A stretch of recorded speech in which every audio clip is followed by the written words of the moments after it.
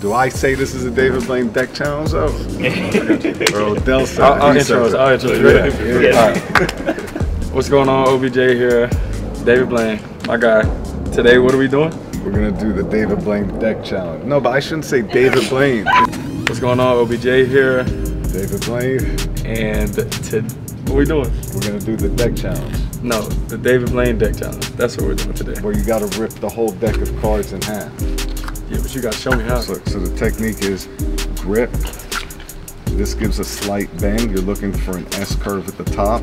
This hand is almost like a vice grip. So you clench down here and then the cards really kind of cut themselves, see?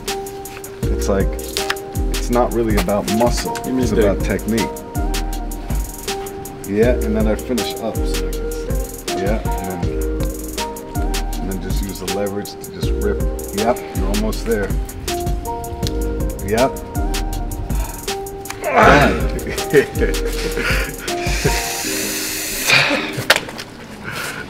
Man, look. David Blaine challenge, 52 cards. Let me know how many y'all can rip without hurting y'all's hands. yeah, don't get hurt doing it. Just leaving David Blaine.